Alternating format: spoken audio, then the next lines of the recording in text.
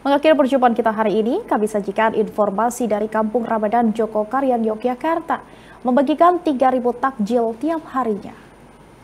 Informasi lainnya dapat Anda saksikan kembali melalui kanal YouTube kami di Metro TV Jateng DIY. Saya Raida Pulpi Mokli tim yang bertugas mengucapkan terima kasih atas perhatian Anda dan sampai jumpa.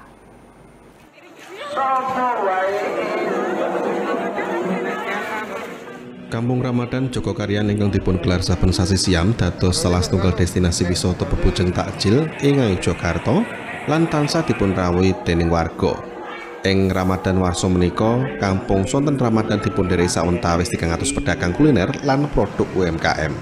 Alhamdulillah peran masjid tidak hanya sebagai pusat dakwah, tetapi bisa memberdayakan masyarakat sekaligus mengangkat ekonomi masyarakat. Dan alhamdulillah tadi sudah dapat laporan ada sekitar 280 pedagang yang ikut berpartisipasi untuk uh, uh, apa menjual dagangannya. Sadangu Ramadan warsa menika saben dinten pengurus Masjid Joko Karyan nyawisaken tigang porsi takjil ingkang dipun bagiaken gratis dhateng masyarakat. Cacahing porsi takjil ingkang dipun wontenaken warsa menika sami kalian warsa saderengipun. Takjil ingkang dipun cawisaken nggih dipun pilih menu berkuah kalian estimasi per porsi kang 11.000 rupiah Milo kangge setunggal sasi dugi anggaran setunggal koma 3 miliar rupiah.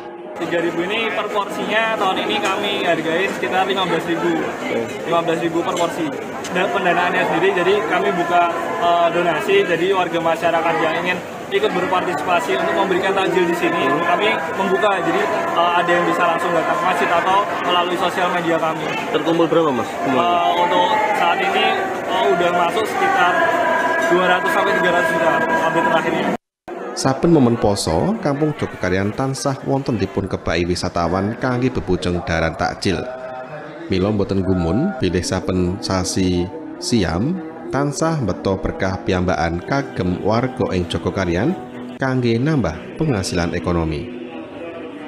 Saking Kidongan Jokarta, Buddha Sungsang Media Group Network. Yono.